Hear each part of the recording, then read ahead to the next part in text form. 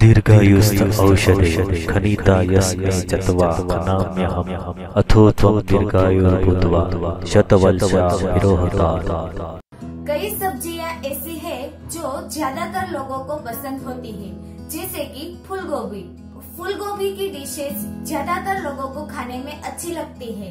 इसमें fibre vitamin minerals antioxidant भरपूर मात्रा में पाया जाता है। फूल गोभी मैंगनीज तांबा, लोहा, कैल्शियम और पोटेशियम जैसे खनिजों का एक अच्छा स्रोत है। आइए जानते हैं सेहत के लिए कितनी फ़ायदेमंद है फूल गोभी। पेट दर्द में लाभदायक।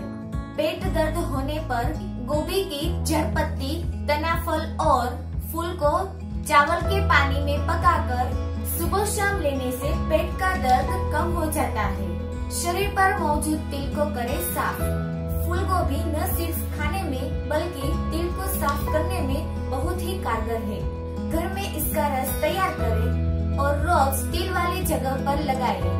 इससे कुछ ही दिनों में पुरानी त्वचा धीरे धीरे साफ़ होने लगेगी और तिल गायब हो जाएँगे।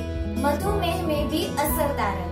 फूल गोभी खाना मधुमेह के रोगियों के लिए भी काफ़ी फ़ायदेमंद होता है।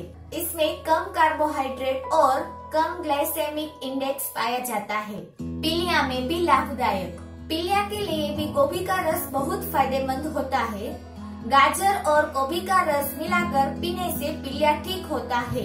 दिल को करे दुरुस्त। दिल के लिए बहुत फ़ायदेमंद होती है।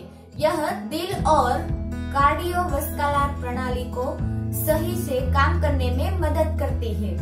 पेशाब जलन में राहत। फूलगोभी की सब्ज़ी का पेशाब की जलन दूर हो जाती है। कोलेस्ट्रॉल का स्तर होगा कम। गोभी फाइबर का उच्च स्रोत होती है। फाइबर हमारी पाचन क्रिया को दुरुस्त रखता है। यह कोलेस्ट्रॉल के स्तर को भी कम करता है। धन्यवाद। तो अगर आपको हमारा ये वीडियो पसंद आया है तो ज़्यादा से ज़्यादा लोगों तक शेयर कीजिए, ताकि ये महत्वपूर्ण जानकारी सबको मिल जाए। धन्यवाद।